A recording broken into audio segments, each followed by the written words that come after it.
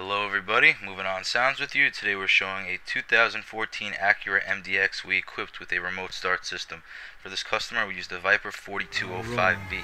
This is a two-way, one-button remote start system.